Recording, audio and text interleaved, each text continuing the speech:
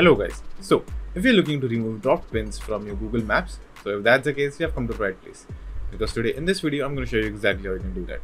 Now firstly, open your maps.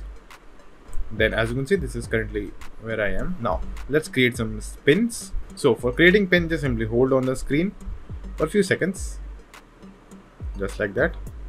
And a pin will appear. Then just simply slide this part at the top and click on save then pick want to go or whatever list you want or you can also create new list by clicking on new list. But for me i'll just simply choose want to go then hit done at the top right.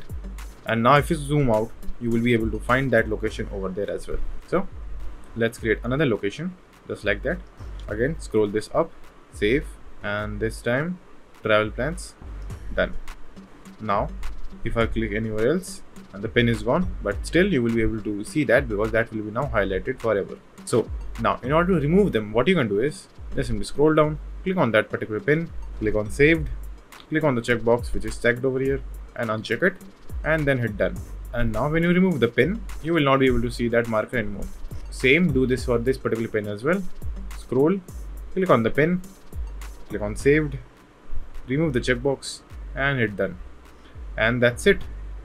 So that's how you can remove pins in Google Maps. So thank you for watching and do like and subscribe to my channel and take care